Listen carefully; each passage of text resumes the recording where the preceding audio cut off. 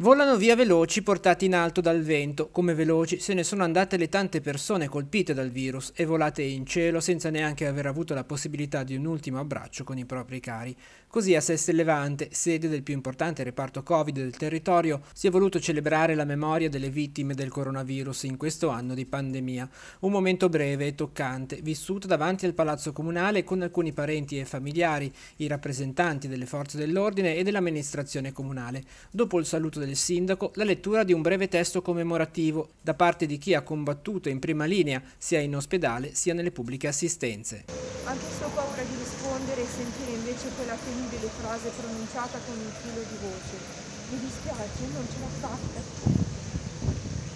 Oggi siamo qua per ricordare le persone che non ce l'hanno fatta e queste rimangono nel nostro cuore. E questa cosa ci ha stravolto per sempre, ma l'importante è ricordare oggi che queste persone che non ce l'hanno fatta non sono mai state lasciate sole, hanno avuto fino all'ultimo una parola di conforto, anche se non avevano vicini i loro familiari, avevano, avevano noi e non li abbiamo mai lasciati soli fino alla fine.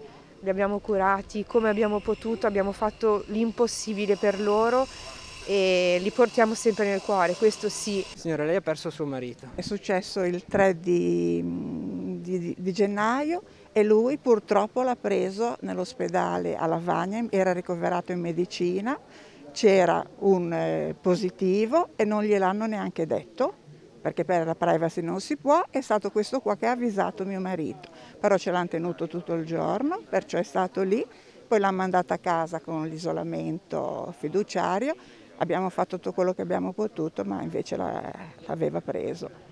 E poi è stato qui a Sessi, qui a Sessi sono di una umanità proprio veramente, ci telefonavano, ci davano notizie, però lui l'abbiamo sentito per qualche giorno, poi per una settimana non l'abbiamo più sentito.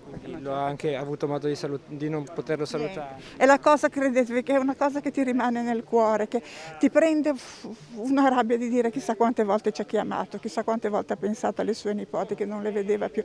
E questa è una cosa, tutte le morti sono brutte perché sono tutte brutte, però questa è una cosa proprio straziante veramente. Quando la sentivo in televisione dicevo povera gente, invece quando si ci passa uno se ne rende veramente conto.